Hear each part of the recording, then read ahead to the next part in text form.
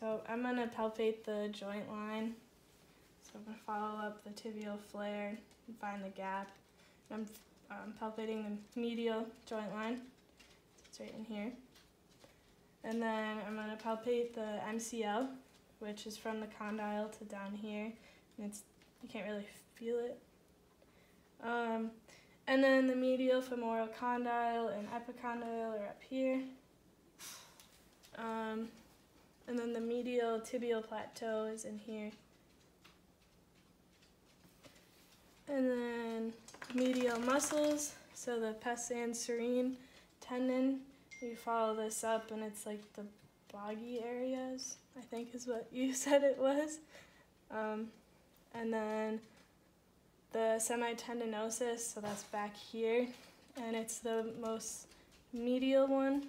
Can you push your heel in? And then the semimembranosus is on the other side, more laterally.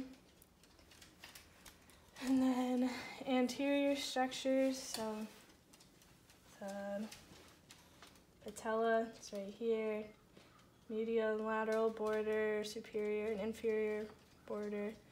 Um, yeah. And then, yeah. And then the tibial tuberosity is down here.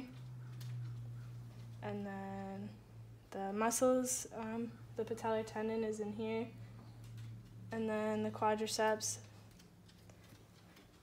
Now the lateral structures, so the joint line over here. So that's right up here. I'd follow the tibial flare, find the joint line. Oh, my cat and dog are fighting. I'm so sorry.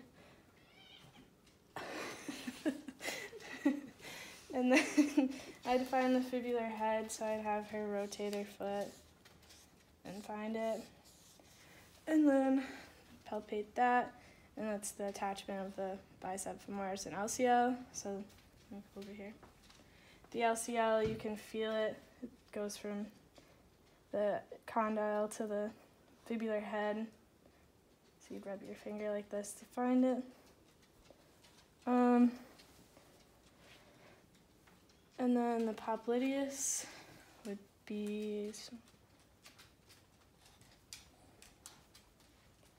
just above the joint line. Um, and then the bicep femoris is another hamstring muscle, so it's back here. So you can push your heel in. And I feel it here. And then the IT is right here. And then, oh, I can feel them. I feel it move this way. So, and then posterior structures. Can you roll over on your stomach, please? Um, it's the pop popliteal fossa. It's in here, so you, you can palpate for like the Baker's cyst, and then the hamstrings.